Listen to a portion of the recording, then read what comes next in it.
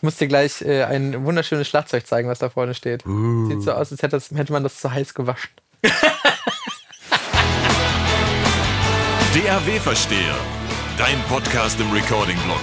Mit Björn und Jonas.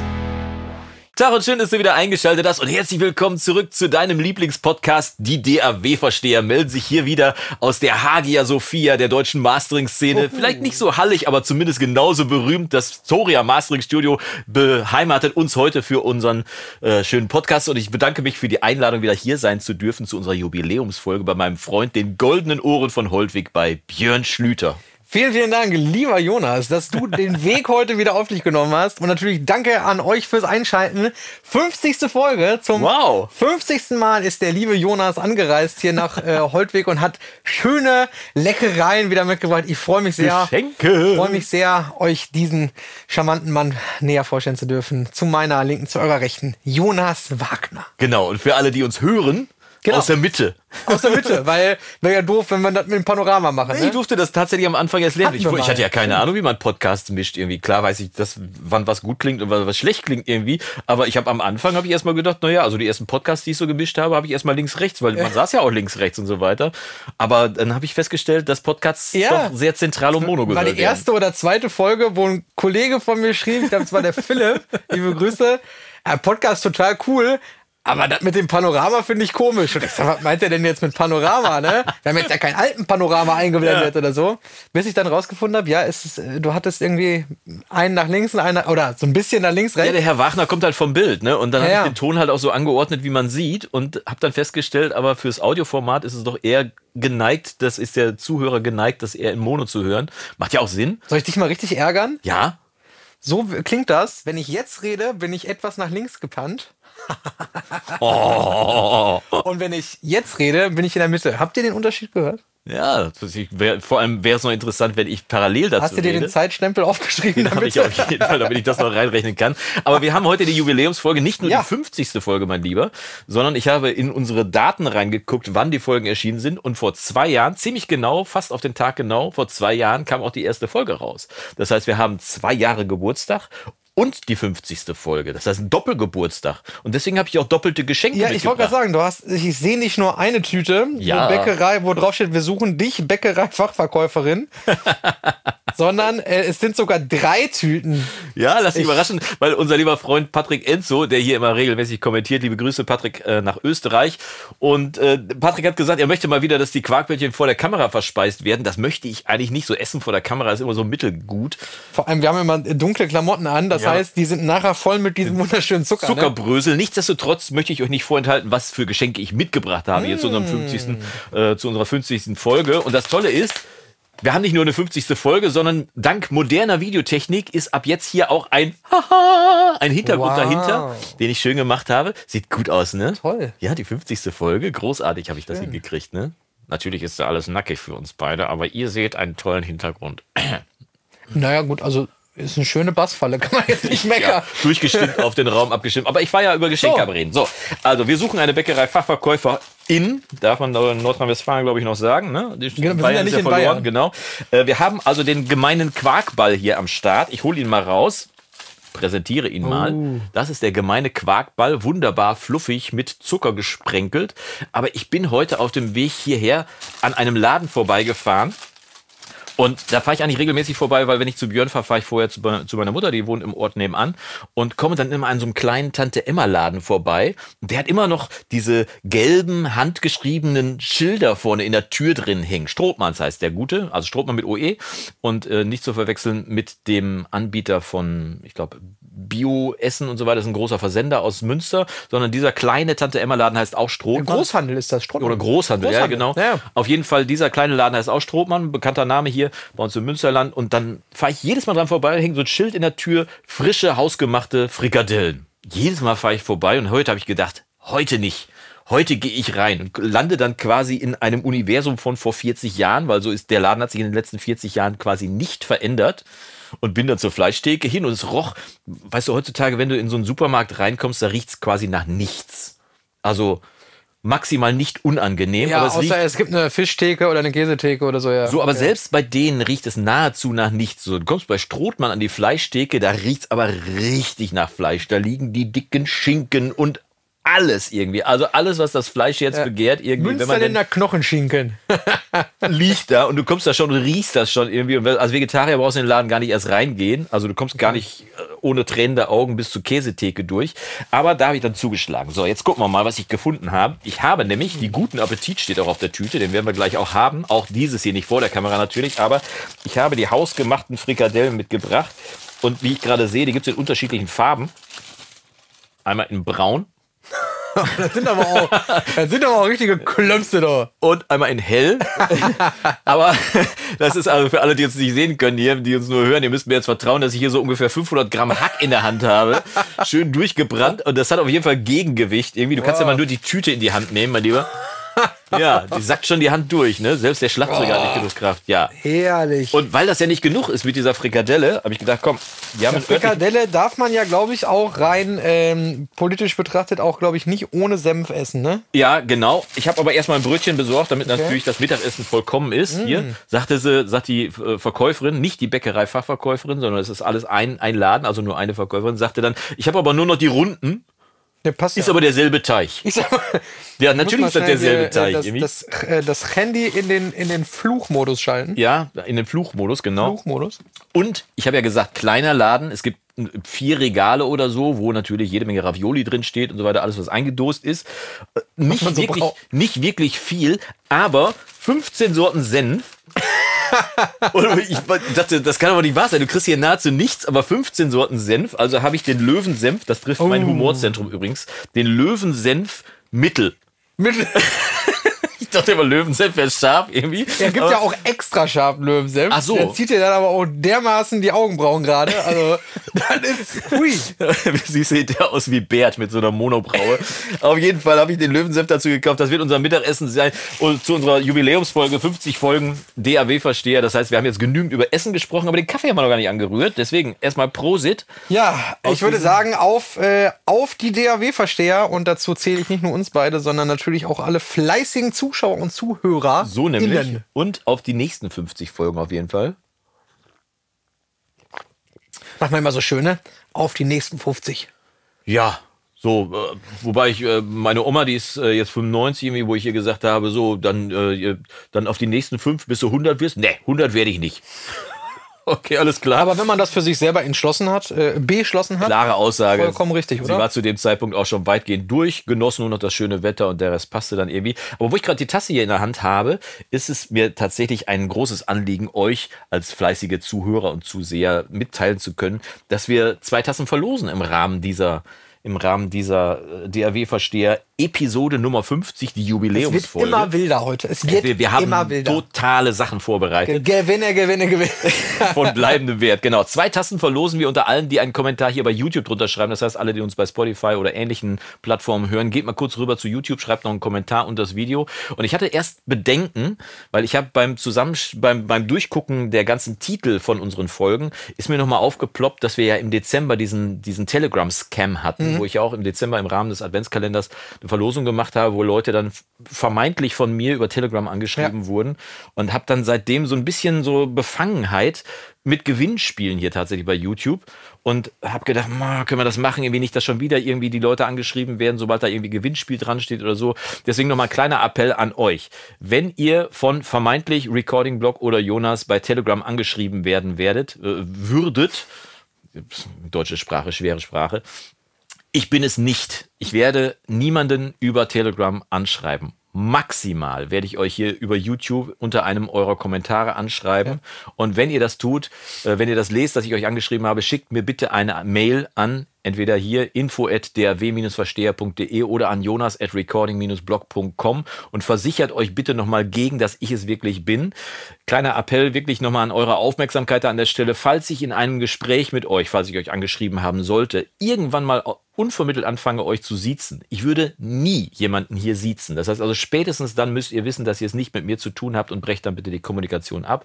Und ich werde euch auch nie um Geld bitten, weder für Porto noch für sonst was irgendwie Auslagen, sonst was irgendwie. Ihr, ihr werdet von mir nicht die Aufforderung bekommen, dass ich euch, dass ihr mir Geld überweisen sollt oder sonst was irgendwie. Ihr könnt uns gerne natürlich einen Kaffee hier unter dem Video ausgeben, über den Button Mitglied werden oder auch über PayPal Me oder alles findet ihr alles unten in der Videobeschreibung.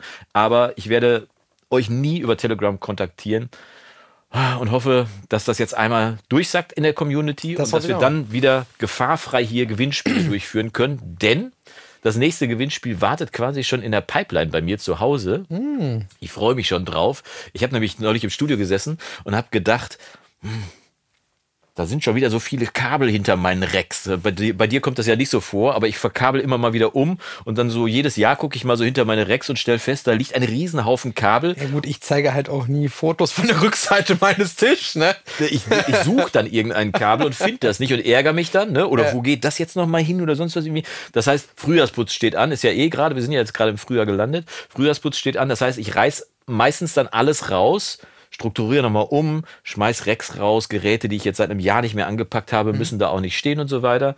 Und habe jetzt aber gedacht, es wäre doch cool, wenn ich nicht nur meine KH310 hätte, sondern auch eine Nearfield, also eine kleinere Box. Und ich habe ja die KH120 noch nebenan stehen, die ich nie verkauft habe. Und jetzt traf es sich sehr gut, dass dieses ARC-System von IK Multimedia rausgekommen ist. Das steht jetzt bei mir nebenan und wartet darauf, angeschlossen zu werden. Meine KH310 sind ja angeschlossen über die Raumkorrektur im Subwoofer. Ja, M1 und, die, das heißt, und die KH120 würden darüber aber nicht laufen. Das heißt, die könnte ich jetzt mit dem ARC-System mal ausprobieren und mal gucken, was das so kann im Vergleich dazu. Bin ich schon sehr gespannt. Äh, erzähl mal, dieses ARC-System ist quasi diese Raumkorrektur in der äh, in so einer Genau, kleinen das Hardwarebox. Im Prinzip das, äh, wie heißt das, Sound ID Reference. So, ein- so ein Plugin, mit dem man Ja. ja eine Raumkorrektur machen kann. Da gibt es einmal für Kopfhörer, einmal für Räume. ist aber ein Plugin, das du immer händisch reinladen musst und dann bei manchen DAWs gibt es keinen Post-Bereich hinter dem Fader, dann Control vergisst man es beim. Export, das rauszunehmen und so weiter. Deswegen bin ich immer ein großer Freund von Hardware. Außerdem Sound ID Reference, ich weiß nicht, ob das noch eine Latenz hinzufügt oder sonst was irgendwie. Ähm, bei dieser Box ist es halt so, das ist im Prinzip auch nur EQ-Kurven, die da, glaube ich, reingebaut sind. Also jetzt nicht noch Laufzeitunterschiede oder sonst was, nichts, nichts ultrakomplexes. Kostet aber, glaube ich, auch nur etwas über 200 Euro Mhm. und ist dann Hardware. Klemmst du quasi zwischen Monitorausgang an deinem Interface oder an deinem Monitorcontroller und die Boxen oder So wie wir auch den, oder nee, du ja nicht mehr, ich den Con-EQ wie du den Conic genau. äh, zwischen, äh, zwischen äh, Wandler und. Äh, Genau. äh, Und dann korrigiert er quasi in dieser Box, musst du einmal einmessen dein System, kannst Mhm. entweder sieben Messpunkte oder 21 Messpunkte machen und dann misst er deinen Raum aus und dann packst du es hinten rein in die Ecke, machst ihn einmal an und kannst vergessen. So, das war's. Ja, das ist Ende. top. Das ist top. Ne? Für den Preis vor allem. Ich meine, Und, und vor allem latenzfrei. Ne? Das, ist, das ist halt der Vorteil, da ist eine DSP drin, der das latenzfrei macht. Das Mhm. heißt, du kannst das Ding, die Raumkorrektur auch anlassen, wenn du aufnimmst. Das heißt, also wenn du, wie ich zum Beispiel Gitarre aufnehmen willst, ich hatte früher mal so eine DSP-Box, wo das auch drin war, die war für Heimkino war die gebaut Mhm. eigentlich. Aber ich wollte die ausprobieren und habe das dann auch eingemessen. Das war dann das äh, D-Mark-System, also ein ziemlich renommiertes Einmesssystem auf jeden Fall, Mhm. die Software. Und das hat super funktioniert. Also der Raum war wirklich richtig gut danach. Einziges Problem, das Ding war so langsam, dass du, dass du quasi 20 Millisekunden Latenz dadurch reingebracht hast. Und als ich das erste Mal vergessen habe, das Ding auszustellen fürs Aufnehmen, habe ich Mhm. da gesessen mit der Gitarre, versucht so zu grooven und es wollte nicht. Ich- Was, was ist da los? was ist denn heute los? Irgendwie? Und dann fiel mir ein, ach, du hast noch die Raumkorrektur an, die musst du Ja. ausschalten. Und Ja. dieses ARC-System hat keine Latenz. Deswegen bin ich schon sehr gespannt, was das aus meinen K120 rausholt. Nach dem Frühjahrsputz. Mhm. Vielleicht wird es auch ein Sommerputz. Ich muss noch mal gucken. Im Moment ist die Hemmschwelle noch so hoch, dass ich das, ich- tatsächlich aus, alles rausreiße. Weil das K310-System muss ich ja dann auch wieder neu einmessen, wenn ich umräume und so weiter. Und ich habe noch so zwei Bassfallen hinter meinem Monitor stehen, die will ich vielleicht auch umräumen, noch woanders hin. Ah, Es bleibt auf jeden Fall spannend. ich habe ja schon vor zwei, Ja. drei Wochen so einen richtigen Frühjahrsputz gemacht. ja, mit dem Swiffer. Äh, auch. Unter anderem, nee, wo, wo wir telefoniert haben, wo ich gesagt habe, ich äh, stehe hier gerade in mehreren Wäschekörben Papier und äh, Treiber-CDs für PC-Bildschirme und äh, äh, Wahnsinn, was ist mal alles Knietief so. in Restmüll. Also wirklich Wahnsinn, was man so anhäuft für einen Kram einfach in den Schränken. Ne? Also natürlich habe ich jetzt keine, keine äh, Equalizer und keine, keine Mikrofone weggeschmissen, aber halt wirklich so, weiß ich nicht, diese, wenn du dir jetzt einen PC zusammenbaust aus Komponenten, dann kriegst du ja, hast du ja noch 35 Kabel und kleine Schräubchen über Alles für noch. boah, ich habe wirklich Sachen, ich, ich habe jetzt Platz. Ich habe wirklich im, im Nebenraum, im Aufnahmeraum, wo mein Schlagzeug steht, ey, ich könnte da jetzt drei Schränke voll machen mit Kram, genau Mach's das gleiche. nicht. Und, äh, Wahnsinn. Also ich muss mir jetzt überlegen, ich muss wieder irgendwas äh, ähm, in die Schränke stellen. Dekoration vielleicht. Also wenn, wenn ihr gute Deko-Ideen habt, dann gerne her damit. Für ein Tonstudio natürlich. Habe ich, hab ich erzählt, dass ich neulich mein ML1 von Slate wiedergefunden Nee. habe, mein Mikrofon? Ich war, ich war steif und fest davon überzeugt, dass es irgendwo im Haus sein muss. Ich wusste nur nicht wo. damit ihr das mal einschätzen könnt. Wir wollten, ich habe ja auch ein ML1 von Slate, wir wollten vor ungefähr fünf Monaten bei irgendeinem Video mit zwei ML1 was machen und seitdem sagte der Herr Wagner, ich weiß nicht, wo das ML1 ist. Ich habe so eine kleine Rumpelbude neben dem. Studio. Eigentlich die einsinge, wo mein Klavier, ste- mein, äh, mein, ja, mein Klavier steht, wo auch mein Rhodes steht. Ich habe neulich mal geguckt, was so ein Rhodes bringt, wenn man das heutzutage verkaufen würde. Ich glaube, ich muss immer drüber Gute nachdenken. Wertanlage. Ja, auf jeden Fall. Auf jeden Fall habe ich irgendwas gesucht. Ich habe auch noch so zwei so Ikea-Schränke da stehen. Da sind Vorhänge davor, damit ich die nicht sehen muss. Das dämpft auch, weil da jede Menge Zeug drin ist. Bücher sind da drin und meine, meine Original, mein Original-Handbuch von Logic 9. Das war damals noch so ein 10 Kilo Schwarten irgendwie. Und mein alter Laptop, auf dem noch Logic 5 läuft, äh, ne, 3.5 noch läuft irgendwie. Also auf Windows. so alt ist der schon, der Laptop und die, und die Version. Auf jeden Fall habe ich gedacht, äh, irgendwo hier unten muss doch noch was sein und schieb so zwei Kisten zur Seite und guck da so, "Hä, was ist denn das für ein Koffer? Und zieh den Koffer so raus, mach den auf, war da das ML1 drin. Da hatte ich komplett storniert, dass das im Koffer ausgeliefert wurde. in diesem weil Case, die ja. ML2 in so Pappschachteln drin sind. Und in meiner, in meinem Haufen von Mikrofonen, wo alle anderen Mikrofone drin liegen, irgendwie so, da war es eben nicht dabei, weil ich einfach vergessen habe, dass es in dem Koffer unten links in der Ecke stand. Ich habe es wiedergefunden. Ja, Ihr seht mal, wie dekadent ich bin, wie viele Mikrofone bei mir rumschwirren. Können wir ja irgendwie. bald mal schöne äh, Stereoaufnahmen äh, mit dem Slate ML1 machen. Ja, wäre vielleicht sogar spannend, wenn man es mal gegen das äh, DLX von Universal Audio halten würde, ne? Weil die ML1 kosten so. ja, wenn du, wenn du 500 Euro oder 400 Ja gut, das ist ja nur, wenn die im Angebot da, ne, wenn die im Sale sind. Ich glaube, die kosten regulär sonst auch wohl irgendwie 700 oder so. Ne? Ja, aber der Herr Slate macht ja regelmäßig Sales. Also von Ja, daher lohnt es sich, wenn man, wenn man da Bock drauf hat, kann man auf jeden Fall drauf warten. So spätestens zum, zum äh, Black Friday gibt's Steven, der alte Pumper. Ja. auf jeden Fall 500 Euro finde ich voll, vollkommen fair, weil das auch ohne diese, diese Profile, die da mitgeliefert werden, schon ein ordentliches Ordentlich, Mikrofon ist. Ne? Also wirklich ein ordentliches Mikrofon Ich habe nichts anderes mehr für, äh, wenn ich dann mal dreimal im Jahr irgendwie Sprache oder Gesang aufnehme. Ja. Äh, Also, Und die hab, döden äh, Hülsen nehmen ja auch darüber auf. Also von daher ja. ist das ja nicht verkehrt. Ne? wo, wo der reinschreit. das ist ja. Nein, Quatsch. Natürlich wollen wir äh, Nee, ist tatsächlich auch ein Campinos ML, Stimme nicht ML1 in der, in der wunderschönen verpackten U47-Optik, aber letztendlich die, Ja. die Technik ist dieselbe, von daher ist es Wumpe. Und wie gesagt, Sieht halt einfach aufregender aus, ne? ja, aber dann könnte ja wirklich ein spannender Vergleich mal sein, ne? wenn man die zwei DL oder ist, DLX. denn, ist denn dieses? DLX, das ist doch. Kann auch Stereo? Nee, doch. Nee, das, nee. Es gibt das DL und das DLX. Das DLX ist Stereo Ja. tatsächlich und das DL ist einfach nur ein Omni-Mikrofon. Das muss man jetzt auch dazu sagen, weil das ML1 ist kein Omni-Mikrofon. Nee, ist, äh, Es reine hat- Niere, ja. Es hat eine, äh, eine Membran und das DL hat zwei Membranen. Ja, aber Stereoaufnahmen kannst du mit dem DLX ja dann auch. Es ist, ja irgendwie auch Nieren. nur eine. Ja, ja. Äh, ja, ist, ist es nicht nur eine 8 dann möglich? Nee, nee, nee, du kannst, äh, das, das DLX ist tatsächlich ein Stereomikrofon. Das heißt, so. beide, beide Kapseln, da sind zwei Kapseln drin verbaut, können auch abgenommen werden. Das heißt Ja. also, du kannst natürlich auch die Polarität drehen, eine 8 daraus machen oder eine Kugel oder wie auch immer das technisch zusammenhängt. Kannst es aber als Stereo nehmen. Und das DL selber ist aber ein reines Monomikrofon. Das heißt, du kannst es nicht abgreifen. Also nicht wie beim äh, OC818 zum Beispiel von Austrian Austrian. Audio, wo du einen zweiten Abgang hast Mhm. und dann entweder Stereo aufnehmen kannst oder aber total abgefahrene Dinge. Also das, Mit nachträglich, ja, das ja, Polarität 18, und so. ich glaube, ich muss noch mal ein Video darüber machen, weil dieses Mikro ist unfassbar, was das für die Kohle kann. ich finde das ist auch total spannend. unfassbar. Ich finde das auch irgendwie, es hat so eine so einen Anmut. So, Ja. Dieses Design, ähm, es ist relativ, ja, ist ja ist nicht kein kleines Mikrofon, muss Es ist aber auch sagen. nicht, nicht viel größer als ein C414. zum Genau, es ist ja flach.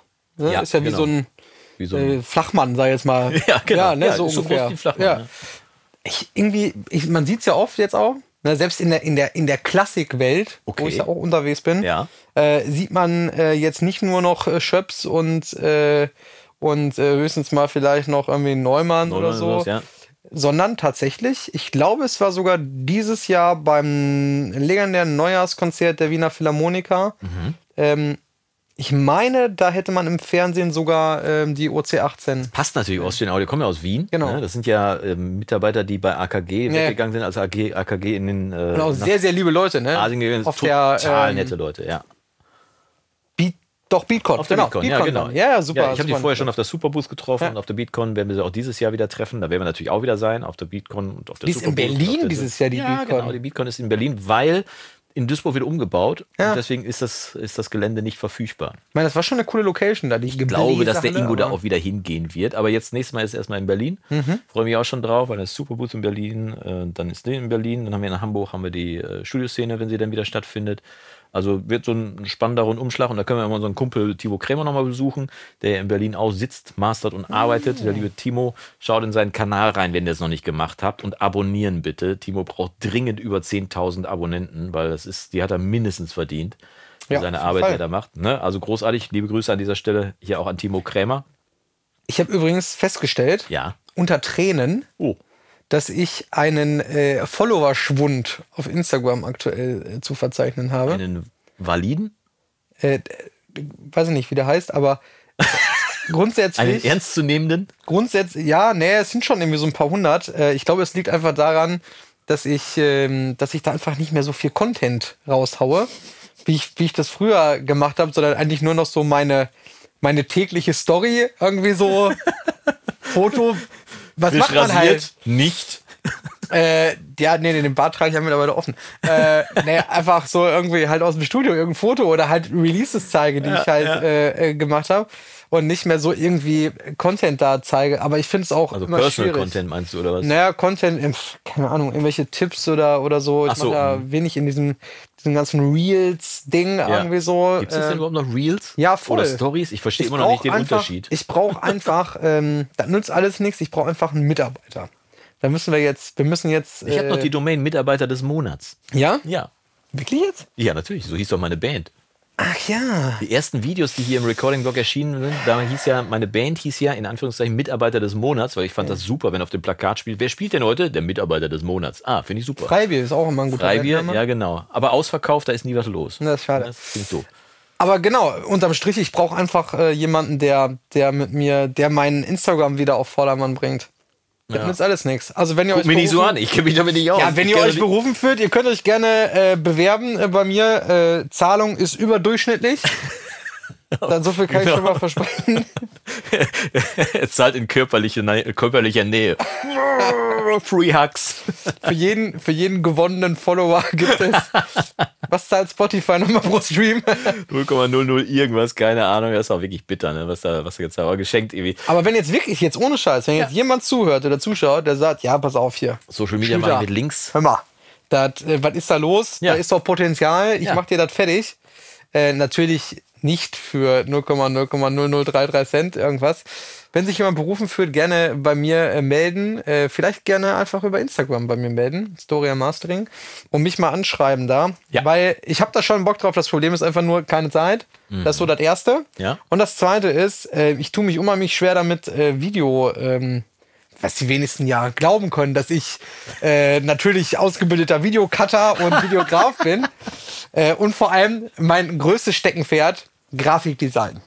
Ja, auch meins. Oh also Gott. ich muss ganz ehrlich sagen, Grafikdesign bin ich noch besser, glaube ich, äh, als in, in, im Video. Äh, Ich habe das ja alle zwei Wochen, wenn ich Thumbnails. Ich bin ja froh beim DAW verstehe, dass wir dieses eine Thumbnail haben und ich weiß, das ist bestimmt nicht das beste Thumbnail der Ach. Welt, aber wir sind drauf, der Titel ist drauf und die Episodenfolge ist drauf. Mehr muss eigentlich nicht. Mehr geht nicht. Johannes, Aber ich muss mehr ja trotzdem für die YouTube-Videos immer wieder neue Thumbnails machen und man ist ja quasi in Konkurrenz mit den ganzen anderen Thumbnails. Das heißt, man muss ja irgendwie einen Stil beibehalten, äh, ansprechend sein und so weiter. Und jede zwei Wochen stehe ich davor und denke, ach Gottchen, ich muss ja noch ein Thumbnail machen. Ich kann das beste Video der Welt gemacht ist haben. mit KI? Ja, geht mittlerweile auch einigermaßen, aber dafür brauche ich dann genügend Vorlauf, um das Video hochgeladen zu haben, damit die KI das analysieren. Ich habe es noch nicht ganz ausprobiert. Also Mhm. das letzte Video ist ja über KI-Stimmen, wobei man daher sagen muss, das ist nicht Ich hörte schon davon. ja, ja, das sind nicht KI-Stimmen, sondern es, du musst dir vorstellen, diese Software, diese KI, die projiziert quasi eine anderes, ein anderes Timbre, eine andere Stimmfarbe auf deine Stimme Mhm. drauf. So, ne, also so, ein Hilfsmittel. Guckt euch das Video an, falls ihr es verpasst haben sollt. Es lohnt sich auf jeden Fall mal, sich überraschen zu lassen an der Stelle. Apropos Video, Ja, du hast da so einen schönen Zettel. Also sogar ja zwei genau. Zettel. Habe ich sogar vorbereitet für heute. Es ist der absolute Knaller. Ich habe die alle Titel rausgesucht und das Veröffentlichungsdatum von unseren 50 Folgen hier auf dem Papier zu sehen. Und wir haben uns überlegt, deswegen äh, ist auch gut, dass du mich jetzt rausbringst, weil sonst würde ich bis übermorgen noch erzählen, dass wir nochmal Das zu habe ich mir gedacht. ja, ja, dass wir zu dem zu unserem vorbereiteten Thema kommen, weil wir haben ja heute Jubiläumsfolge Ah. und deswegen hab ich haben wir uns überlegt, dass ich mal alle Titel rausschreibe und wir wollten eigentlich erst so eine Losbox machen, aber das war mir ein bisschen zu aufwendig hier 50 Titel auszuschneiden, dann in so eine Dingens reinzumachen. Also habe ich die 50 Titel hier aufgeschrieben von unseren Videos und wir versuchen jetzt mal uns daran zu erinnern, worüber wir wohl da gesprochen haben, weil Videotitel ist ähnliche Herausforderung, eine ähnliche Herausforderung wie Thumbnail. Du hast also eine Stunde Videomaterial und sollst jetzt irgendwie einen ansprechenden Titel machen. Das gelingt mir mal mehr, mal weniger. Und Also ich habe schon beim Durchsehen, es sind schon sehr viele witzige Sachen dabei. So ist nicht. Also Ja, und äh, Prozedere ist wie folgt. Wir werden jetzt hier, Björn wird mit seinem Handy einen Zufallsgenerator machen. Von 1 bis 49 oder von 0 bis 49. 0 bis 49. Es gab eine Pilotfolge, das war die Null. Genau, und Ja. die ist erschienen am 10. März 22, also ja, etwas mehr als zwei Jahre her. Und die erste offizielle Folge ist dann am 20.03. herausgekommen. Da haben wir ja vorher haben wir gefragt. Die erste Folge hieß nämlich äh, Mach mal laut und gib uns einen Namen. Und Du wolltest ja gerne, dass der Podcast Mach mal lauter heißt, ne? Mama Lauder. Mama ja, Lauder. Fand, fand ich eigentlich ganz lustig irgendwie. Aber DAW-Versteher, die DAW-Versteher lag ja auf der Hand, dass ich nicht selber drauf gekommen bin. Aber manchmal muss man auch ein bisschen länger drüber nachdenken. Und ich bin zum Beispiel gestern, als ich über den Titel und das Thumbnail nachgedacht habe, bin ich einfach eine Stunde mit dem Hund durch den Wald gelaufen. Mhm. Und bevor ich dann am Schreibtisch sitze, mir das Hirn zermartere oder sonst was irgendwie. Und das war echt extrem befreiend. Einfach mal kurz Kann nur Blätter und Weite und Hund und Wind und so weiter. Und, und du kannst einfach mal die Gedanken schweifen lassen und dabei ist viel Gutes bei rausgekommen, äh, was auch gut funktioniert hat. Aber Titel, Wir, wir nehmen ein Hilfsmittel, ne? Also, d- wir, wir, ziehen, wir ziehen eine Nummer zwischen 0 und 49. und ich lese dann den Titel vor und wir versuchen herauszufinden, worum es da wohl ging. Genau, und äh, wir haben aber noch ein Hilfsmittel, weil ich habe hier auf diesem ähm, Mobilfunkgerät äh, einer familiär geführten äh, Handy- und, Pla äh, und äh, äh, Tablet-Schmiede aus, Aus. Kalifornien. ähm, ich habe hier auch unser Profil geöffnet bei Spotify Sehr gut. wo ähm, alle Folgen ja auch chronologisch äh, auffindbar sind und wo ja auch immer die Kurzbeschreibung der Folge drunter steht. Die ich mir auch immer noch als kleine Zusammenfassung unseres Podcasts Gimmick. ausdenke. Quasi. Genau, das heißt, äh, das ist ein Hilfsmittel, wo Okay. wir, wo Aber wir, zieh mal eine Zahl jetzt erstmal. Wir wollen ja nicht so Erstmal lange hier auf die. Folter spannen. so, ich drücke Wir, auf. wir machen mal fünf. Ne? Ich sag mal maximal fünf, weil Ja. wir haben, wir haben ja auch noch die Plug-Influencer-Rubrik, die wir auch noch. wir wollen euch ja den wollen. Sonntag jetzt auch nicht komplett kaputt machen. Nein, wir wollen ihn aufheitern natürlich an dieser Stelle. So, Nummer drei. Nummer drei war die Folge Quarkbällchen in der VST-Abo-Falle. Also, Quarkbällchen haben wir heute schon gehabt. VST-Abo-Falle. Ich meine mich zu erinnern, dass ich aus Versehen ein Slate Digital-Abo abgeschlossen habe. Und äh, zumindest habe ich das im Rahmen des Podcasts schon mal erzählt. Ich habe das Slate irgendwie geöffnet, weil ich das für einen Mix, den ich für eine Session, die ich öffnen wollte, brauchte ich irgendwie ein Slate-Plugin, habe dann dieses Test-Abo abgeschlossen und dann ist das aus Versehen weitergelaufen. Und Ist jetzt tatsächlich aus der, ähm, aus der Kurzbeschreibung nicht ersichtlich. okay, was sagt die Kurzbeschreibung? Also Episode 3, in der Jonas und Björn das Geheimnis des Quarkbällchens in unkundigen Verkäuferinnenhänden erforschen. Okay, alles klar, das war. Sich in die Untiefe der VST-Plugin-Abos begeben und ganz handfeste Tipps geben, worauf es beim Boxenkauf tatsächlich ankommt. Achtung, Spoiler, es sind nicht die Boxen. Ja. Äh, ich erinnere mich, dass du, ähm, dass du hier ankamst und ich glaube etwas äh, erzürnt warst, weil die Bäckerei-Fachverkäuferin, ähm, ja, war sie, ah nee, sie hat irgendwie was falsch eingepackt. So, du hast, eh, jetzt weiß ich's. Ich weiß es. So, hier, Quarkbällchen. Ich weiß es nämlich nicht. Ist ja einfach. Tüte, Quarkbällchen. Ja. Kannst nichts verkehrt Ja. machen. Du hast aber auch Kuchen gekauft an dem Tag für, ich glaube, für deine Family oder, mhm. oder irgendwas, ne? Und da hast du dich darüber aufgeregt, dass heutzutage keiner mehr vernünftig Ah, richtig. Kuchen einpacken Genau, kann. weil die Bäckerei-Fachverkäuferin erkennt man nämlich daran, dass sie den Kuchen, wenn die den auf dem Tablett hat, auf das Papier legt und das Papier einschlägt, es eben nicht mit Tesafilm zumacht, sondern so umschlägt, dass das Ding von selber hält. Die braucht keinen Tesafilm. Eine Bäckerei-Fachverkäuferin braucht keinen Tesafilm. Das heißt, wenn ihr beim Bäcker steht und die Dame auf der anderen Seite zupft so fleißig am Tesafilm rum, was also so, so Plastikverschwendung, ne? Zupft am Plastik rum, äh, dann äh, ist das definitiv keine ausgebildete Bäckerei. Gaffertape wäre okay. Gut, Nur, dass wir da. Genau. äh, Gaffertape wäre völlig okay, natürlich. Ja, genau. Da, also mit Gaffer, Gaffer hält ja die Welt zusammen. Ja. Ne? Und was mit Gaffer nicht hält, kann wirklich weg. Oder Safety Clips, geht auch. Safety Clips. Oder diese Klammern auf jeden Fall. Und, ja, äh, und äh, VST-Abo-Falle war, glaube ich, ging es da. Ähm, Slate oder Waves? Ähm, ich weiß nicht, ob Slate, wir haben dann so generell. Universal Audio vielleicht Wir haben sogar. auch generell dann, ich glaube, auch über Plugin Alliance gesprochen. Da gibt es ja auch dann dieses äh, Mega-Bundle, Mega-Bundle Ja, ja. und sowas. Ähm, tatsächlich, Folge 3 war am, wann war die? Die war ja dann auch im April Relativ 2022, muss das oder? gewesen sein, ne? Das war dann am Folge 3, am 17. April, genau. Ja, überleg mal, auch quasi dann zwei Jahre fast her, hat sich seitdem bei dir an der, äh, an der VST-Plugin-Abo-Front etwas getan? Die Abos dahingehend, dass natürlich Universal Audio mittlerweile die ganzen Plugins, die ich sowieso vorher besessen habe, Stück für Stück jetzt in Native umgesetzt hat. Ich brauche da gar kein Abo. Also dieses äh, Abo, was die bei Universal Audio haben, brauche ich nicht, weil ich sowieso die ganzen Plugins besitze und ich darf freundlicherweise die auch als Native, das heißt freundlicherweise, So Spark heißt das, Ja, ne? ja, Spark, genau, kann man eigentlich auch erwarten, irgendwie, dass man Plugins, die man gekauft hat, auch Native benutzen darf. Ne?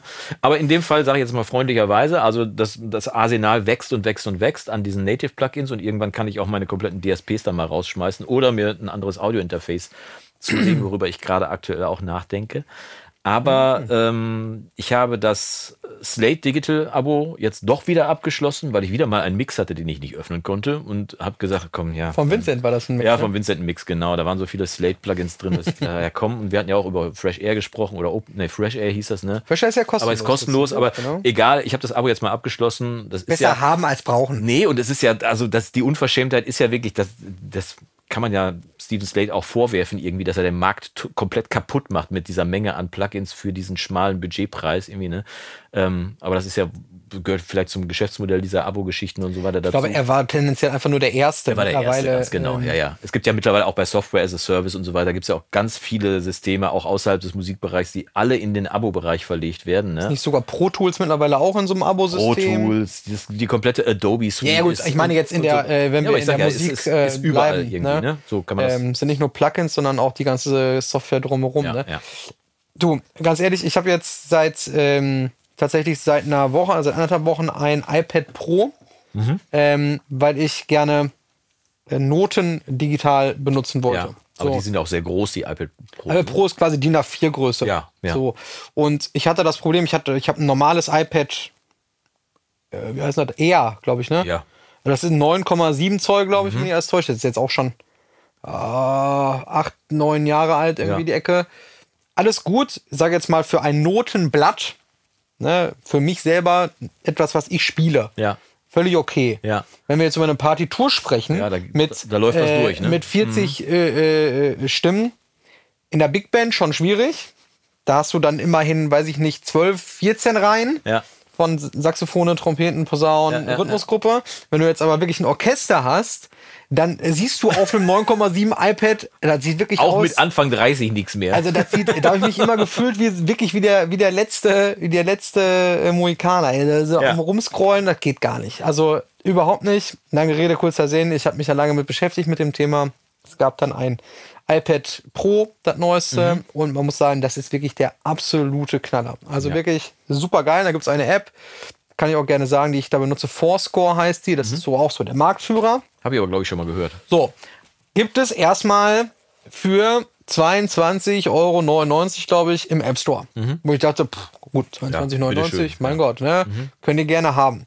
Hab dann äh, angefangen, da Noten rein zu importieren. Kannst du einfach PDFs importieren, kannst sie bearbeiten, drehen, du kannst da was reinmachen, kannst Ja. alles machen. Name it, mach it. So.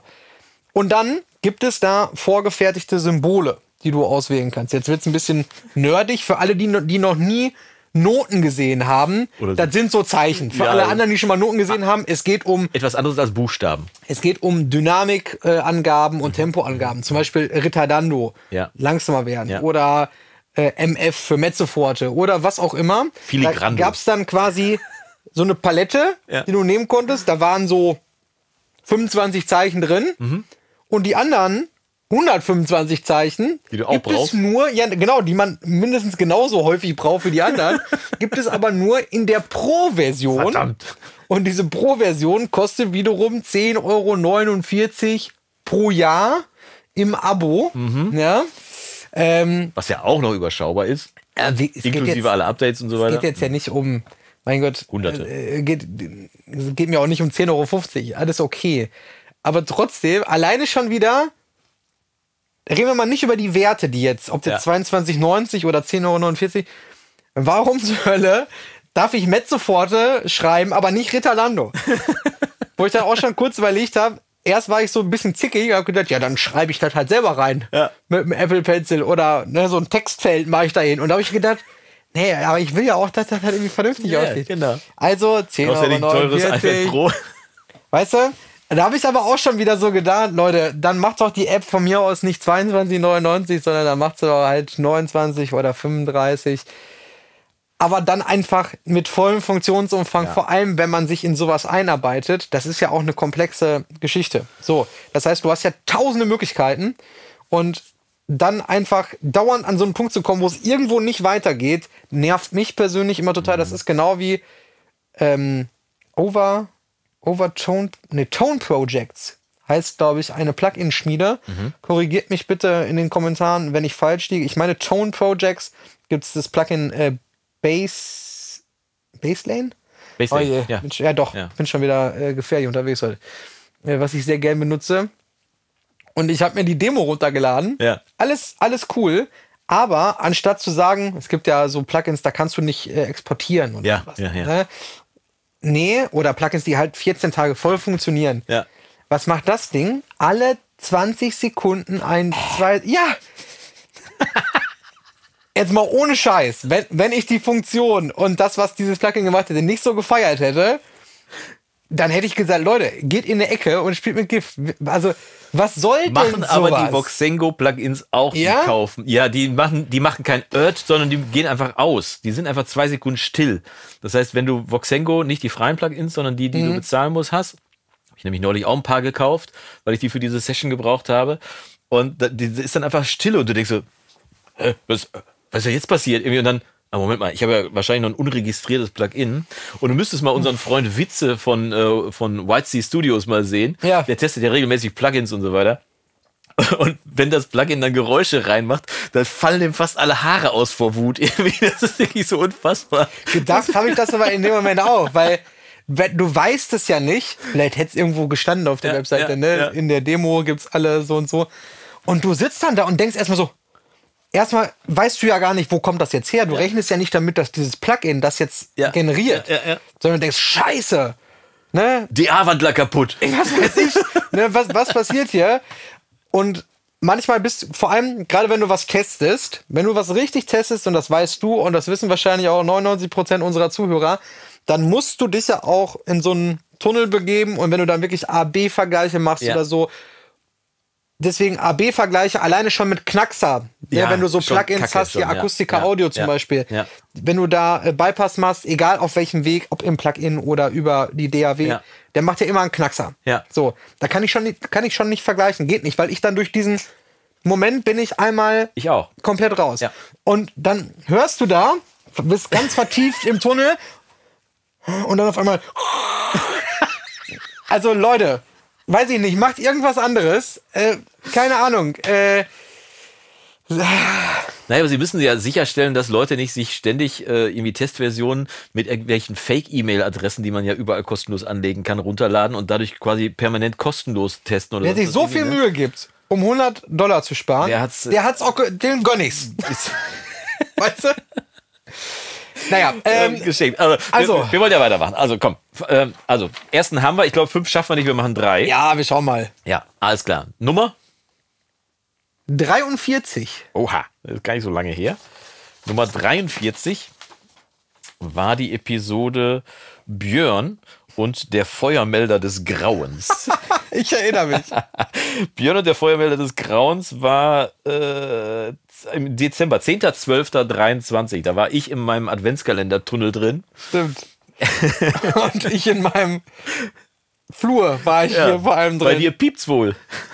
Also, Episode 43, in der Björn von einer Flurbegegnung der dritten Art erzählt, Jonas einen Zwischenbericht vom Adventskalender abgibt, die letzte Folge des Jahres in vorweihnachtlichen Glanz ihre dunkle Schatten wirft und kurzfristig aus die DAW-Versteher die Pfannenklopfer werden. Was? Da haben wir, da haben wir über, über diesen äh, Fleischklopfer gesprochen, ob man mit, dem, mit einer Pfanne auch Fleischblatt klopfen kann. So. Ah ja, da habe ich den, den Live-Hack, Genau. den, den, wie man das ja so heutzutage so schön sagt. Wahnsinn. Ja, Ja. also der, der Feuermelder des Todes. Da musste ich vor, äh, vor ein paar Tagen tatsächlich noch dran denken, weil ich habe hier, wenn, wenn man hier rausgeht aus der, aus der Regie, geht's ja quasi direkt die Treppe Ja, runter. ja. Das ist ja ein sehr, sehr hohes Treppenhaus, du weißt das. Oder ein relativ hohes Treppenhaus. Und jedes Mal gibt es natürlich Spinnenweben, die in der obersten Ecke anfangen äh, zu weben oder, oder zu entstehen. Und ich habe da, Weil da haben sie ja ihre Ruhe. vor ein paar Tagen mal da gestanden, dass, wenn man jetzt hier rausgeht aus der Tür, ist wie so eine kleine Emporia, wo man Ja. Und ich ja. da wirklich so gestanden.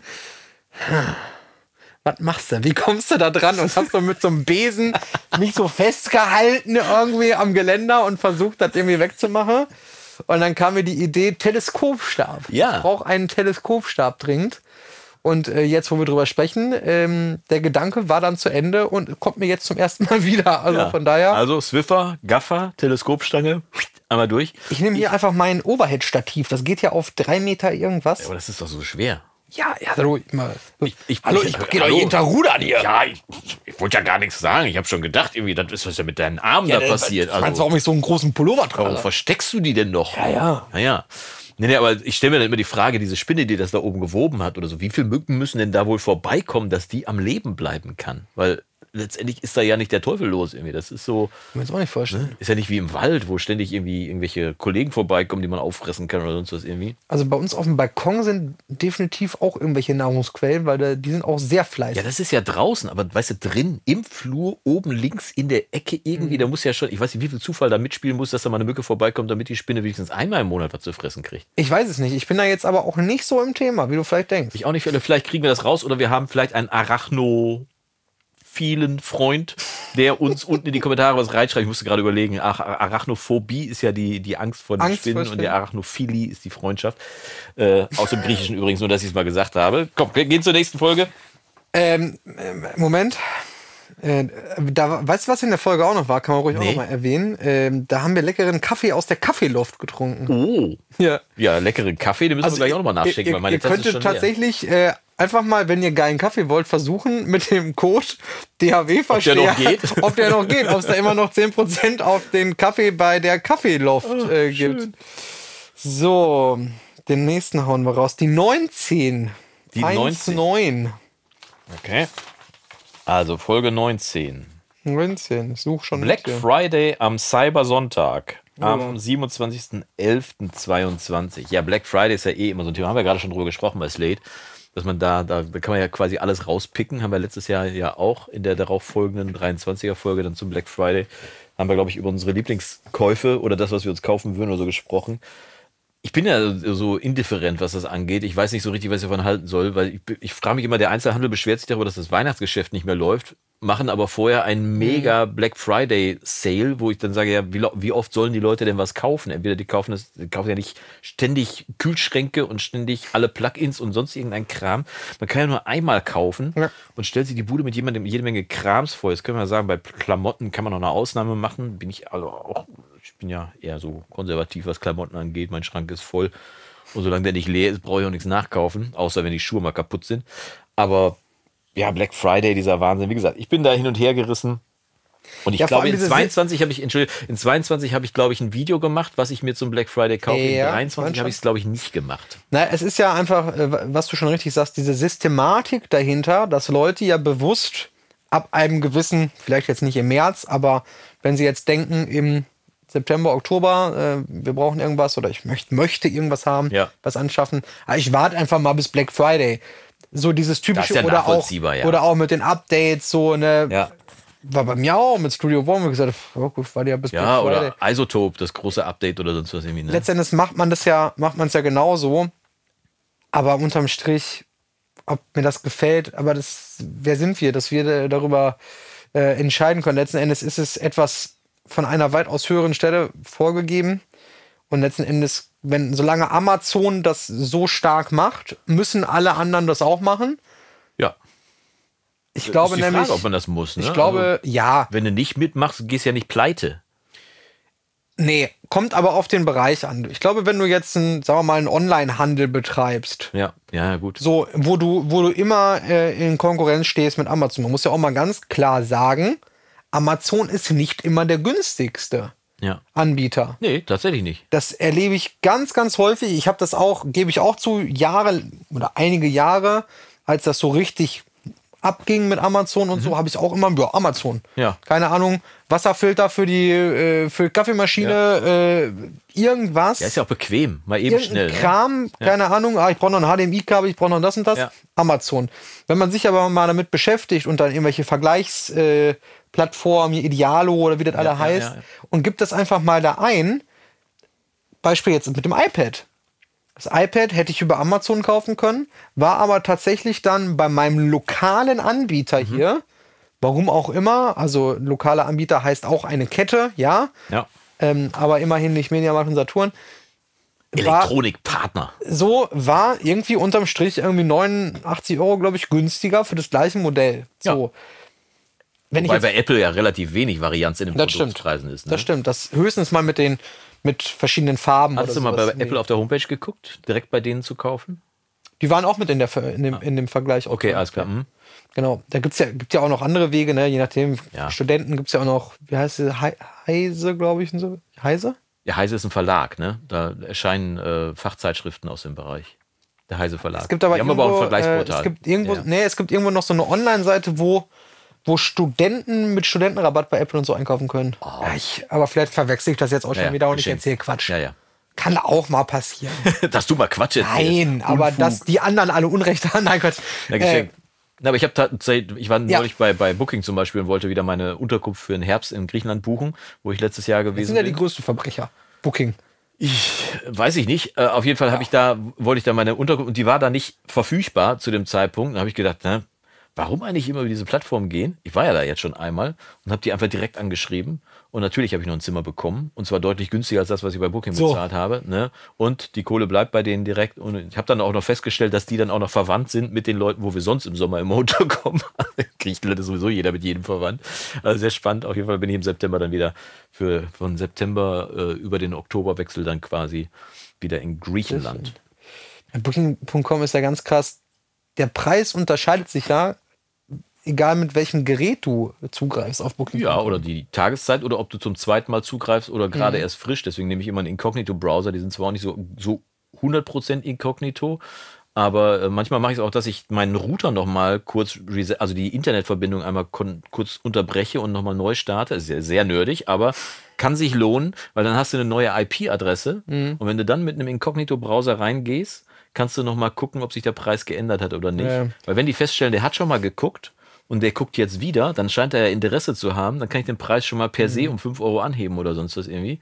Da sind sehr, sehr perfide Methoden dahinter. Naja, und dann noch, wenn du mit der App reingehst, hast du einen anderen Preis, so. als wenn du mit dem Browser reingehst. Wenn du mit dem iPad, also wenn du mit iOS äh, zugreifst, hast du einen anderen Preis, als wenn du mit Android drauf zugreifst. Stimmt, weil die iOS-Leute, die haben ja mehr Geld, weil Wahnsinn. Apple ist ja alles teurer und Das so weiter. ist echt total verrückt, das muss man schon sagen. So, Komm, ein- nächste Nummer. Einen haben wir einen noch, wir und dann wecken wir die Kinder. Äh, Weil früher bei, als wir äh, auf der Bühne gespielt haben mit Atze noch zusammen. Hat Also Atze man muss sagen, mein Handy mag überhaupt nicht, dass ich im Flugmodus bin, weil ich muss die ganze Zeit wegklicken, jetzt WLAN für irgendwas einschalten oder Okay. so. So, wir sind oh, Nummer zwei tatsächlich. Oh, Folge Nummer zwei war. Äh, Oha. ich kann das gar nicht lesen. Was habe ich denn da geschrieben? Lies du mal vor. Das ist zu klein für meine Augen. Podcast 2. Schnee, Kaffee Schnee. und Intermodulation Backups in Mono. Oh Gott, Meine lies die Beschreibung. Güte. Ja, ich sag ja, es ist 3. schwierig. April 2022. Woran merkt man, dass man älter wird? Die Arme werden zu kurz zum Lesen, selbst mit Brille.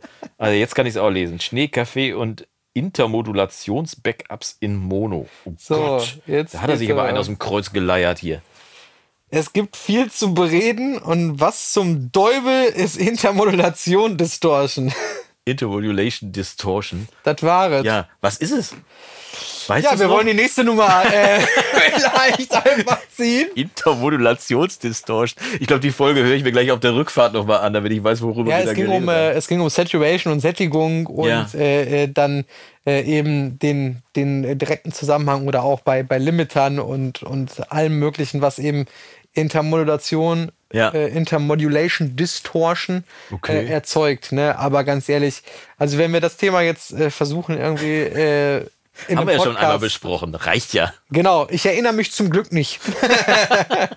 Ja, unnützes Wissen kann man auch gerne mal wieder stornieren. Muss einfach nur durch die Tür rein und wieder raus, dann ist schon. Aber ich erinnere mich, es war, äh, es hat enorm viel geschneit. Ja. Ja, ja, war ja, hieß ja auch Schnee, bla Ja. bla. Schnee, Obwohl Kaffee. das Anfang, ähm, oder ja gut, aufgenommen haben wir die Folge vielleicht ja irgendwie dann Ende März. Was war das hier? Dritte, vierte, glaube ich, stand da, ne? Ja, alles 3. täusche. 3. April ist sie erschienen, genau. Ja, überleg mal, das wäre so wie, wie ungefähr jetzt dann. Ja. Und da weiß ich noch, da war hier so viel Schnee, dass, wir, dass es hier total Dunkel äh, war, ne? Dunkel Ja, war, genau. weil der Schnee hier, also Ja, quasi hinter ähm, uns äh, ist direkt die, die, die Wand, die an ein Nachbargebäude geht. Ja. Wir sind aber hier höher als das Nachbargebäude. Das heißt, das Dach vom Nachbargebäude geht quasi hier äh, an das Ich Fenster. erinnere mich, mein Junge war nämlich noch auf der Grundschule und da, rie- da rief uns der, der Grundschuldirektor an, weil der, nee, der rief uns nicht an, sondern der hatte eine Umfrage unter den Eltern geschrieben, ob jemand helfen kann, den Lehrerparkplatz freizumachen, weil sonst müsste der Unterricht ausfallen. Und wir wohnen nur 150 Meter oder 200 Meter weit entfernt von der Grundschule. Deswegen höre ich auch mal das Bimmeln bei mir zu Hause. Ähm, auch in den Ferien übrigens, wird nicht abgestellt. Warum? Und, keine Ahnung. Weiß es können. Auf jeden Fall haben wir, auf jeden Fall haben wir eine Schneefräse und dann haben wir Also. die Schneefräse eingepackt und haben tatsächlich den wirklich über eine Stunde lang den Lehrerparkplatz freigedonnert, irgendwie mit der Schneefräse. Ja. Das war vor zwei Jahren. Ist das schon Was zwei man nicht Jahre alles her? dafür tut, damit äh, das Kind gute Noten kriegt, ne? Damit man morgens mal vier Stunden Ruhe hat. So ungefähr. Nein, Quatsch. Alles gut. Gute Noten ist ein anderes Thema, weil seine Kinder immer von uns könnt ihr das nicht haben irgendwie. Also zumindest von mir nicht. Die Beweise liegen unten im Keller, schön verschweißt, nennen sich Zeugnis, also meine Zeugnisse. Von mir können sie es nicht haben, aber zum Glück, das ist so ein großer Luxus. Das kann ich dir gar nicht beschreiben, dass du Kinder hast, für die die Schule kein Problem ist. Also kein negatives Erlebnis in ihrem Großwerden. Das kann ich weiß ich nicht, die- denken, ja. und meine, zum Glück irgendwie, ich liebe euch, ihr beiden, die rutschen da so durch und die sind, mein kurzer, vor allem ohne fleißig zu sein. Ich weiß nicht, wie der das macht, aber der hat das irgendwie. Mhm. Aber es ist so ein großer Luxus, nicht nur für die, dass sie da einfach so durchrutschen und Schule eben keine Belastung ist. Mathe, Englisch, Deutsch und sonst was irgendwie. Und äh, auch für die Eltern, dass wir da uns da Voll. nicht durchkämpfen. Also, also an alle Eltern, Ja. die mit, äh, wo die Kinder dich mit der Schule durchquälen müssen, ihr habt mein vollstes Beileid. Ich bin auf jeden Fall sehr happy, dass wir damit nichts Ja, stell dir vor, du musst halt jeden Tag noch nach der Schule irgendwie immer wieder auf das Thema draufhauen und jetzt müssen wir zusammen Hausaufgaben machen und müssen das machen. Und dann gibt es wieder eine schlechte Note und Puh. einen Downer und, und so weiter und so fort. Und das Ganze dann in ich Stress. hatte da auch mal so eine ganz schwierige Phase, so irgendwie siebte, achte, neunte Klasse, so, das war ein ganz schwieriges Thema irgendwie. Ja, ich bin ja zehn Jahre sogar sitzen geblieben. Also tatsächlich bin ich stumpf sitzen geblieben. Sieht man gar nicht. Nee, ich sitze ja immer noch. Aber tatsächlich hat es mir nicht geschadet, ganz im Gegenteil, das Jahr zu wiederholen. Die fanden mich einfach so dufte, die wollten mich da behalten. Und mein Abitur habe ich. ja- mein, mein, du bleibst noch ein Jahr in der 10. Aber mein Abitur habe ich ja trotzdem gemacht. äh, Und das ist ja, ich habe ja schließlich zwei abgeschlossene Ausbildungen, Führerschein und Abitur. Ne? Und habe mich ja trotzdem dazu gebracht, dass ich hier sitzen kann und mit dir zu quatschen. Aber komm, bevor wir uns jetzt komplett verplaudern hier in den einzelnen Episoden, wir haben ja noch eine schöne Rubrik, die wir hier aufrufen wollen, die sich so schön nennt. Ja, und was haben wir uns da äh, Fantastisches heute ausgedacht für die Jubiläumsfolge? Du hast ja schon über Distortion gerade gesprochen oder über Saturation und so weiter. Und das Plugin, was wir besprechen, ist zwar ein Dynamik-Tool, bringt aber tüchtig Charakter mit. Ja, das ist, äh, das ist wohl so. Ich glaube, jeder, der so ein bisschen mit Tonstudio und so zu tun hat, hat das schon mal entweder auf dem Foto irgendwie gesehen oder vielleicht sogar schon mal bei, beim Musikhaus Online-Händler deines Vertrauens schon mal nachgeschaut, Ja. was denn so ein Gerät Wenn du mitraten kostet. willst, drück mal kurz auf Pause. Dann kannst du mal kurz überlegen, welches Gerät wir wohl meinen mit den vier dicken weißen Knöpfen. Genau, es ist dran. ausschließlich schwarz-weiß, Ja. ein HE, Ja. Ist ein Kompressor ist ein Kompressor. Und er hat eine ziemlich lange bunte LED-Anzeige. Stimmt. So, wenn es bis jetzt nicht weiß, der Empirical Labs Distressor. Gut, dass du den Firmennamen gesagt hast, sonst hätte man sich wieder über mich lustig gemacht, über meinen dezenten Sprachfehler. Tatsächlich, es geht um den Distressor. Genau, der Distressor ist ein moderner Kompressor erstmal. Genau. Der kann man ohne, ohne wirklich zu sehr auf die Kacke zu hauen, den Markt nochmal neu aufgemischt hat tatsächlich. Indem er einen Ja. Markt genommen hat. Kompressoren gibt es ja schon seit Ewigkeiten, seit Mitte der 60er im Prinzip schon. Damals hießen noch Limiting Amps.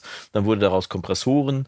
Äh, LA2A, der berühmteste Vertreter aus der äh, Lichtfraktion mit Röhren. Dann der 1176 Opto, ja. natürlich, also der Opto mit Röhren. Und dann der 1176 natürlich als Transistorvertreter mit einer unfassbar schnellen Reaktionszeit, Ja, ne, genau. die ja in, selbst bei langsam ist sie noch unter einer Millisekunde. Das ist 0,8 Millisekunden, glaube ich, die langsamste Einstellung. Mhm. Und die schnellste brauchen wir gar nicht drüber reden.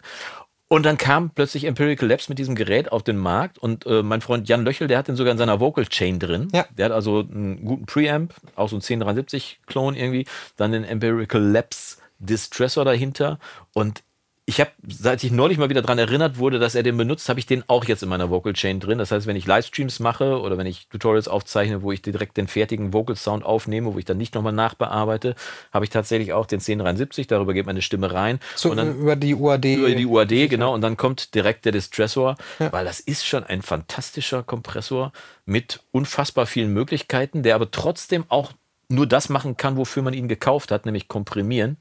Er ist total vielseitig auf jeden Ja, Fall. Also mega. von, von absoluter Distortion, äh, Soundmaschine, sage ich jetzt mal, bis hin zu subtil halt einfach nur die Dynamik eingrenzen. Genau, einfach nur- Wir reden ja immer über, bei Kompressoren denkt man ja oft immer an Sound irgendwie. Ja, weil einem das an jeder Ecke und an jedem Ende erzählt wird und den Leuten so viel von der macht Sound erzählt wird, dass die meisten vergessen haben, dass der Kompressor erstmal nur ein Werkzeug ist. Zur Dynamikbegrenzung oder eben zur Dynamikerhöhung.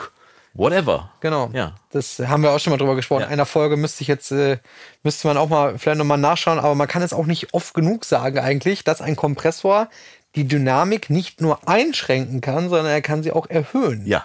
Und das wird oftmals vergessen, weil gibt ja diese, diese Sheet Sheets. Gibt's ja äh, Spickzettel nenne ich das immer. Spickzettel, ne, heutzutage heißt er Sheet Sheets. Ja, Cheat Sheet. Cheat Sheet, ähm, Sheet. Wo, dann, wo dann die einzelnen äh, Knöpfe, Ratio, Threshold, Attack, so verglichen werden mit äh, irgendwelchen. Der Kompressor ist wie deine Mutter, gibt's glaube ich so ein äh, Dings irgendwie, äh, habe ich mal gesehen. Oh Gott. Müsste ich jetzt aber selber nochmal nachschauen, was dann genau die, die einzelnen Parameter, Parameter sind. Okay. Beim Distressor finde ich einfach den, den ganz großen Vorteil, dass du bei einem LA2A oder bei einem F76 oder bei einem Fairchild oder wie alle diese ganzen äh, analogen Klons so heißen, bist du ja immer, wenn du den LA2A nimmst, dann kriegst du LA2A. Ob Ja. das jetzt Waves, UAD, mich Kernfunktion, selbst die Nachbildungen aus Studio One oder auch Logic. gibt mit Sicherheit auch ähnlich. kostenlose Tools da, die das irgendwie nachbilden. Ja. Dann kriegst du halt genau das. F76 sehr schnelle Regelzeiten, LA2A eher langsame Langsam, Regelze genau. äh, Regelzeiten, eine gewisse Form äh, äh, natürlich auch von, ähm, von Distortion oder von, von harmonischer Verzerrung oder wie auch immer, mal mehr, mal weniger. Und bei dem Distressor finde ich, wenn ich jetzt einfach will Kompression haben, um etwas zu komprimieren, Mhm. dann nehme ich entweder den Stock-Kompressor von äh, Studio One, Ja, der gut ist. der heißt Oder von Logic ist auch übrigens. super. Echt, der heißt Kompressor? Ganz wild. Aber mit C, verrückt, ne? Ja, das ist äh, französisch. Und dann, äh, oder eben dann den, den Distressor. Weil der Distressor natürlich dann die Möglichkeit bietet, zusätzlich zu dem reinen Komprimieren mit einer sehr, sehr weiten Range an Regelzeiten, Ja. sehr schnell, sehr langsam, alles dazwischen, hat er eben die Möglichkeit, noch diese verschiedenen Sättigungs- oder Distortion, ja, Modi, kann man ja sagen, Ja. dann auch äh, damit reinzunehmen. Und ich bin drauf gestoßen, ja, das wollten wir auch noch erzählen. Es gibt ja bald eine Mastering Masterclass. Ja, genau. In der Mastering. Hörte ich. Ich habe mich nämlich gerade schon gefragt, wo der Distressor wohl bei einem Mastering-Engineer ins Spiel kommt. Volle weil- Pulle drauf. Weil, ja, weil der ja, der kann wirklich Sound machen. Also richtig. ne? Also, ich komprimiere im Mastering mindestens zwischen 18 und 22 dB. Ja. Immer. Ja, also drunter gehe ich ja quasi Nee, gar nicht also, aus der Haustür. ich kann nicht, also- Hallo? Hallo? Nee, tatsächlich, äh, es gibt bald eine Mastering Masterclass Ja. und wir haben darüber gesprochen, welchen Song nehmen wir, welches Projekt nehmen wir. Ich habe ein Projekt aufgemacht und habe gedacht, was, wenn wir so darüber sprechen, man sollte ja schon vorher mal reingucken, was vielleicht irgendwie so interessant ist und sehe so, hä, UAD im Pölkelips. Habe ich auch erstmal so beim Laden vom Projekt, Ja, ne? sich was selbst gewundert über dich. Ich weiß nicht, ist das bei anderen DAWs auch so? Bei Studio One ist ja, wenn du jetzt ein Projekt lädst, Ja, dann lädt er erstmal die äh, ganzen lädt, Plugins und dann äh, laufen die da, je nachdem Ja, wie schnell ja. die geladen werden, laufen die da durch, ne? Und ich guck so hin, Standardclip, äh, weiß nicht, Limiter, irgendwas und dann so UAD, Empirical Labs, das wäre so. Okay, das wird interessant. das Projekt ist auch schon irgendwie, weiß ich nicht, anderthalb Jahre alt Ja, oder so. genau. Und macht das so auf und denkt, ah, Parallelkompression. Natürlich parallel, Logo. Verstanden. Genau, also ich habe ihn, benutze den relativ, ja, regelmäßig, in Anführungsstrichen, äh, für Parallelkompression Ja. im Mastering, weil er, natürlich hat er den Mixregler Ja. auch. Hat er natürlich in der Hardware-Version leider nicht. Damit ist er ja quasi schon mehr oder weniger parallel regelbar, wenn du ihn auch Nicht nur mehr oder weniger, sondern- ja, als parallel regelbar. Ne? Es ist, es ist äh, ein paralleler Kompressor, aber ich möchte eigentlich in der Regel, wenn ich parallele Kompression im Mastering benutze, also Ja. im Stereo-Mastering benutze, wo ich ja wirklich nur als Quelle den Stereo-Mix dann habe, dann möchte ich in der Regel die parallele Kompression noch bearbeiten mit EQ oder mit Ja. Filtern oder wie auch immer. Äh, Oder vielleicht sogar noch zusätzlich mit einem Limiter oder je nach, je nach Szenario. Und der, der Distressor ist da einfach super geil.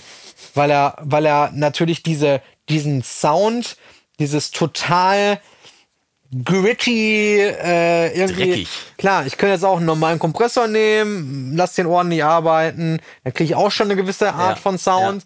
Ah, packe ich noch einen Decapitator drauf oder ein, was weiß ich, ein Ja. Devil Lock, wie das alle heißt. Und dann habe ich vielleicht einen ähnlichen Effekt. Aber dafür ist halt der Distressor cool. Ob man dafür jetzt irgendwie äh, losrennt und irgendwie 399 Euro für so ein Plugin bezahlt, muss man, muss man wissen. Aber es gibt den ja auch nicht nur von der UAD. Du hast den ja auch noch von. Äh, Ja, man muss das ja erstmal in Relation zur Hardware. Also ich habe den in verschiedenen Versionen äh, mindestens zwei oder dreimal, aber wenn du überlegst, versuch mal die Hardware zu kaufen, also die echte Hardware heute zu kaufen, da musst du richtig tüchtig Geld auf den Tisch es legen. geht Ne? tatsächlich. Also ich bin relativ. Der ist ja Mono. Ja, ja, ich bin, äh, müsste mal nachschauen, wo er mittlerweile liegt. Aber ich hatte eine ganze Zeit lang mal in meinem Thomann, ähm, auf meiner Thomann Affiliate. Links unterm Video. Auch, es gibt auch andere wunderbare Musikhäuser in Deutschland. Ja. Gibt's übrigens wirklich, also egal. Hatte ich mal ein Stereo-Pärchen davon. Es Mhm. gibt ja tatsächlich so ein Verbindungskabel. Ja, wie beim 1176 auch, so ein Link. Genau, Ne? meine ich schon. Ich hoffe, ich erzähle jetzt nicht schon wieder Quatsch. Und wollte das ganz lange haben, bis ich irgendwann festgestellt habe, dass das jetzt für Mastering mit Sicherheit tolle Geräte sind. Auch tolle Geräte sind, aber mit Sicherheit nicht äh, dafür gebaut worden sind, um ähm, damit im Mastering hauptamtlich tätig zu werden. Das war so in den äh, ganz den Grobmotoriker unter den in den, in den Anfängen meiner, meiner Überlegungen. Das Stereo-Paar sollte, glaube ich, um die 3000 kosten. Du kriegst es 2,8 aber heute so. nicht mehr. Wahrscheinlich nicht mehr. Nein, ne? nein. Ich glaube, der kostet eins. Ich müsste es jetzt nachgucken. Ich, jetzt kommt auch hier gesundes Halbwissen. Ja. Aber der kostet über zwei, Komm. wenn ich mich nicht täusche. Du bist im Flugmodus Komm. und der bleibt auch da Ah, ja, im stimmt. Flugmodus. So, also ja ihr könnt es im Zweifel nachgucken. Falls ihr mal nachgucken wollen würdet, äh, es gibt Affiliate-Links hier unter meinem Video. Da, Wollte ich nämlich noch kurz darauf zu sprechen kommen, weil unter meinem letzten Video hat nämlich einer drunter geschrieben, sich darüber beschwert, dass ich, dass ich mir doch tatsächlich rausgenommen habe, Affiliate-Links unter das Video drunter zu packen. Ekelhaft. Ja, ganz, ganz furchtbar. Also, du, Ganz ehrlich, ich habe dann, ich hab dann geschrieben, was spricht gegen Affiliate-Links, nur nochmal, um die Erklärung zu machen. Ne? Die Videos hier sind für euch zu sehen kostenfrei.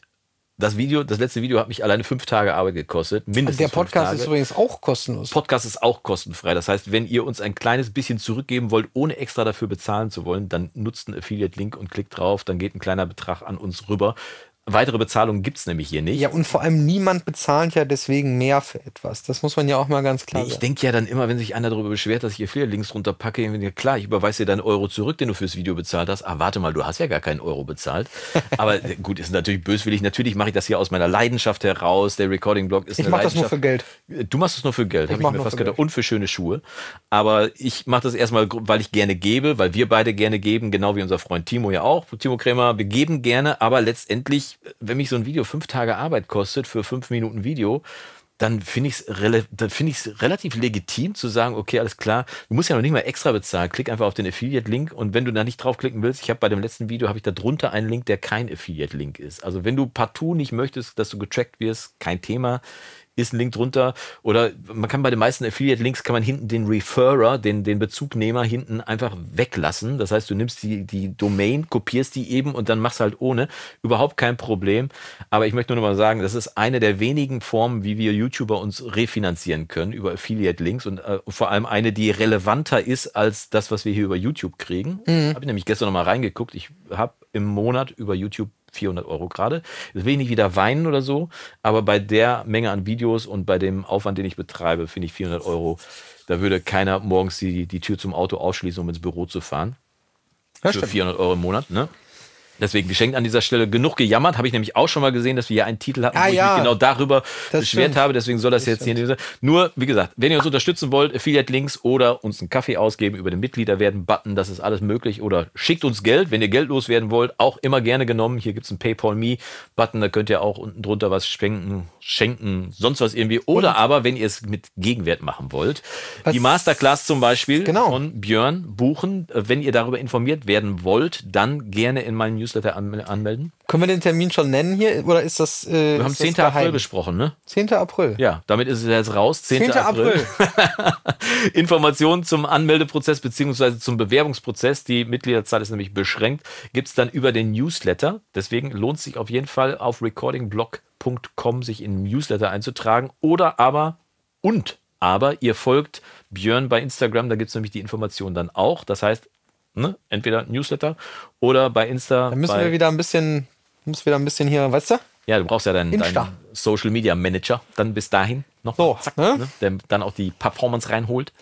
Performance Genau. in die Reels und so. Und im Prinzip können wir uns damit auch schon fast verabschieden mit diesem kleinen Werbeblock hinten raus, der uns auch erlaubt sein soll. Oder ihr werdet natürlich Premium-Mitglied. Da kriegt ihr nicht nur jede Menge Leistung, sondern auch die Premium-Familie, Tutorials, äh, Hangouts, sonst was irgendwie. Und es gibt demnächst neu im Recording-Blog Premium-Bereich Office. Hours. Office Hours, einmal pro Woche gibt es einen festen Zeitpunkt, wo ich quasi am Telefon sitze, beziehungsweise am Zoom oder sonst wo irgendwie, vielleicht auch bei Sessionwire sitze und man kann mit mir plaudern. Office Hours als nächstes Highlight im Premium-Bereich und dann werde ich auch mal irgendwann drüber nachdenken, den Preis anheben zu müssen, weil so viel wieder reinläuft. Und das ist ja quasi schon nicht mehr wirtschaftlich, das ist ja schon Können wir uns jetzt bitte verabschieden? Ich möchte diese Frikadellen Oh, die jetzt. Frikadelle, äh, die riecht schon hier so ein bisschen ist, drüber. also ihr könnt euch das nicht vorstellen. Seit einer Stunde riecht das hier wie in einer Pommes, wie in einer, wie in einer Pommesklitsche. Und für die, die es so nicht sehen, sagt. sondern nur Oh. hören, hier läuft so ein kleiner Spuckefaden, so ein Speichelfaden Ei, schon so ei, runter ei, an der Seite. Auf jeden Fall. Nein, wir können uns auf jeden Fall verabschieden, werden uns dann natürlich in Folge 51, in Episode 51, dann in zwei Wochen an dieser Stelle hier wieder hören. Da werden wir dann die Frikadellen reviewen. Ja. wir machen jetzt gleich erstmal ein Unboxing. Frikadellenfluencer. genau. Ja. Schön, dass ihr dabei wart bei unserer Jubiläumsfolge Nummer 50. Über zwei Jahre die DAW-Versteher, der Podcast hier Wahnsinn. bei YouTube und natürlich bei allen einschlägigen Streaming-Plattformen. Ich freue mich sehr auf äh, die nächsten Folgen und es hat mir bis hierhin schon sehr viel Spaß gemacht mit dir, lieber Jonas. Freut mich. Mich, äh, mir auch. Und, Kann ich nur ähm, zurückgeben. Ich freue mich aufs nächste Mal und schaltet in zwei Wochen wieder ein, wenn der liebe Jonas Folgendes sagt. Dein Song ist besser fertig als perfekt. It's better done than perfect.